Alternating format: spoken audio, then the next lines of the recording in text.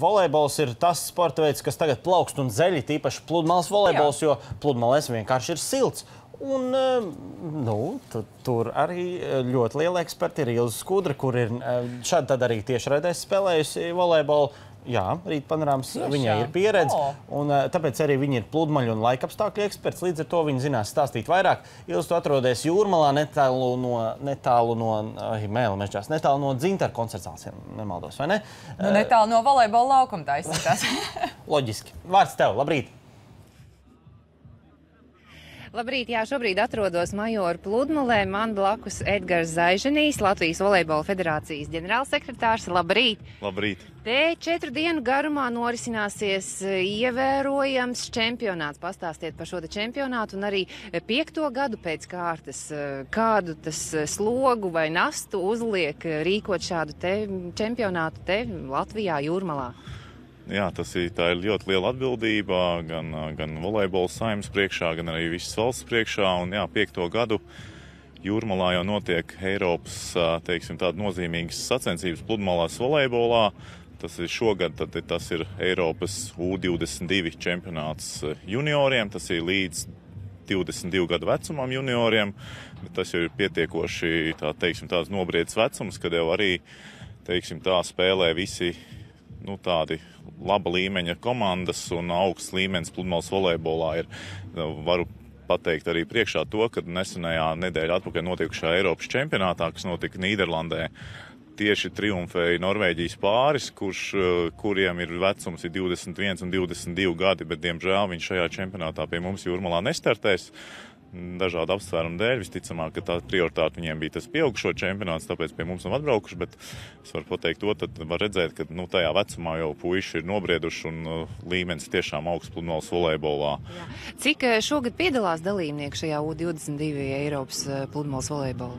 Tā čem, čempionāta fināla turnīros uh, piedalās 32 komandas katrā dzimumā. Tas ir kopējais skaits ir 128 sportisti plus treneri. Tas jau ir kopā jau 200, 200 cilvēki. Tas ir tikai tie, kas saistīti tikai ar sportisko pusi, tad arī ir plus vēl organizatori, tiesneši, brīvprātīgie mediķi un tā tālāk. Tas ir vairāk kā 400 cilvēki iesaistīti šā pasākuma norisē, teiksim tā. Edgar, kā vērtējat Latvijas sportistus? Latvijas sportistus vienmēr vērtēju ļoti pozitīvi un cerību skatos, ka viņi varētu sasniegt augstus rezultātus. Uh, Tas ir gan meitenes. Tīna Laura Graudiņa, Anastasija Kravčēna, kad divus gadus atpakaļ tieši šajā U22 čempionātā, kas norisinājās Kiprā, izcīnīja zelta medaļas. Tad mēs skatāmies tajā virzienā, ka viņas ir viens no favorītēm šajā turnīrā.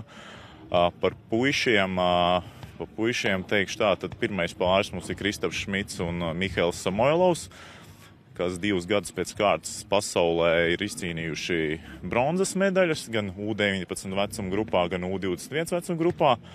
Tā kā šie divi pāri ir tie mūsu vadošie pāri, uz kuriem mēs liekam lielas cerības, bet arī pārējie pāri, kas uh, divi vēl meiteņu pāri un divi puišu pāri, tie arī varētu parādīt labus rezultātus un ceram, ka tiks vismaz labāko astotniekā. Jā. Kuri varbūt ir tādi sīvākie konkurenti Latvijas sportistiem? Uh, Nu, meiteņu konkurencē noteikti tās ir Krievijas eh, pārstāvs, kas arī regulāri braukā pa pasaules kausa posmiem un uh, at, rāda atzīstams rezultāts.